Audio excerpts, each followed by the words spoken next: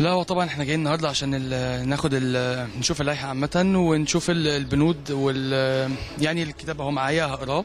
هشوف كل الأفكار اللي فيه نجمع أفكارنا كلنا كأعضاء نشوف إيه اللي ينفع النادي كأحسن اللي قدام. آه، الناس ما تزهقش منه إيه اللي يعتبر الحاجات اللي معظم الناس عايزاها تتعمل في النادي.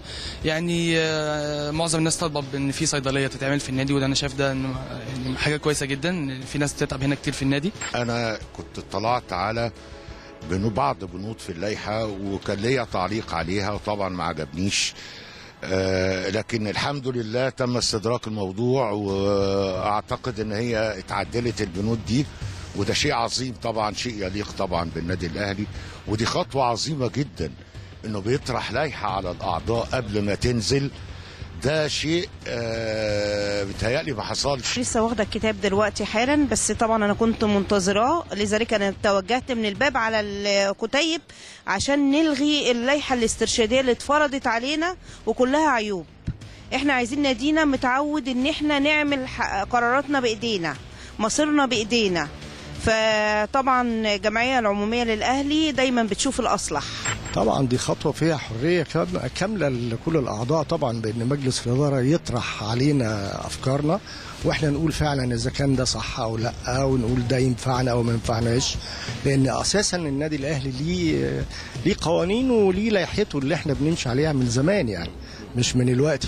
فطبعا مجلس إدارة كونه إن هو يفكر في حاجة زي دي فدي طبعا حاجة كويسة جدا لينا يعني. فنفس تفكيرنا يعني.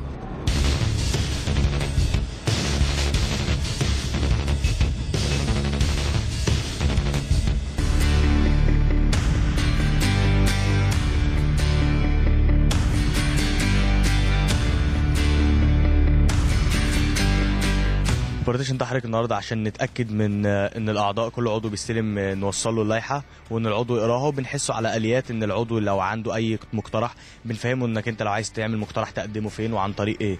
آه، عندنا طبعا عندنا إن إحنا بنقدمه عن طريق ال mail أو في آخر كل كتيب من اللائحة بيبقى موجود أربع صفحات هو ممكن يقطعها حضرتك وبيحطها في صندوق الاقتراحات هنا. وبتتناقش كل الاقتراحات اللي بيقدمها العضو.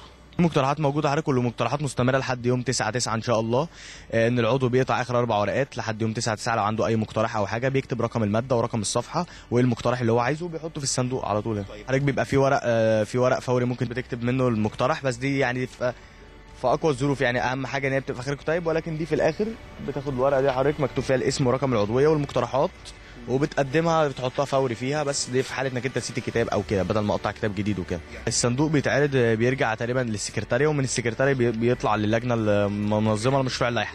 آه المنظمة لمش- لمشروع اللائحه وبتتناقش ومن بعد يوم 9 9 إن شاء الله في ندوات كتب متوفرة في السكرتارية عندنا متوفرة الكتب وموجوده وموجود الورق والكشوفات وكل حاجة. partition تاني في مدينة نصر وفي partition تاني في الشيخ زايد.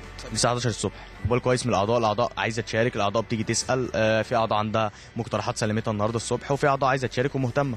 تيجي حاسة بدورها إن هي تكتب قانون النادي اللي هتمشي عليه طول العمر. أنا ما بقراش مقترح الناس العضو بيقفل المقترح وبيحط الورقه على طول. أنا زي المقترحات حاجة ديمقراطية ولا أنا أبص فيه ولا عاد ولا أي حاجة. هو بيحطه بإيده وبتتسلم زي ما هي. أنا جبت واحدة قبل كده الأسبوع اللي فات وقريتها وحاجة محترمة يعني. وإن شاء الله قدمنا اقتراحات مجلس يقراها وإن شاء الله خير. اللي فيه خير للنادي إن شاء الله خير. أبرز حاجة عجباني إن إحنا أول نادي في مصر يبقى هو اللي حط اللائحة بتاعته وعرضها على الأعضاء الجمعية العمومية كل واحد يقرأ ويشوف إيه البند اللي هو مختلف عليه البند اللي هو معاه يدعمه البند اللي مش عاجبه يحط مقترحاته. كل الأندية قبل كده في السنة اللي فاتت كلها الجمعيات العمومية ال- مجالس الإدارة هي اللي اختارت اللائحة بتاعتها. لكن أول نادي في مصر هو بيطرح الجمعية بيطرح اللائحة بتاعته لأعضاء الجمعية العمومية وهم اللي يناقشوها. عدلوا فيها يبعت بالميل يبعت بأي حاجة يقول مقترحاته هيبقى في مناقشات لحد ما إن شاء الله اللائحة تكمل وان شاء الله يوم 28 9 يبقى خير بإذن الله. في بند بس بتاع إن الزوجة لما جوزها لما زوجها يتوفى إنها تدفع 50% من قيمه العضوية. طبعا ده يعني الاعمار بيد الله فما ينفعش إن واحد يكون زوجته وهو توفى هتجيب منين؟ بس فالمفروض إن ده بس هو اللي إحنا كاتبينه إن هو ممكن يتعدل البند ده. لكن باقي ال- البنود أغلبيتها 95% منها كويسة إن شاء الله تخدم الجمعية العمومية للنادي الأهلي. جبت اللائحة وقريتها. تمام. وفي في تعديل مقترح آه، هكتبه هنا لأن المفروض ال- الأعضاء هي اللي تختار آه، الرئيس لمدة يعني مش مش مدة معينة أو مدتين. اللي عجبني في اللائحة إن ال- ال- النوادي كلها الجمعيات العمومية هي يعني زي ما تقول ما بتشاركش الأعضاء معاهم زي زي آه ما بتشاركش هي بتعمل لائحة والعضو أوكي أو لأ. لكن آه، النادي الأهلي الجمعيه العمومية هي اللي بتحط اللائحة نفسها أو بتعدل اللائحة نفسها وهي اللي بتختار النادي يمشي إزاي أو الجمعيه العمومية. أيوه. عشان نشوف برضه القرارات عند النادي الاهلي عاملة إزاي وكده وراها إن شاء الله وبعد كده ابعتها إن شاء الله. لو في تعديل ولا حاجة هجيبها تبعتها. أه، هبعتها إن شاء الله. في- في خلال قد إيه؟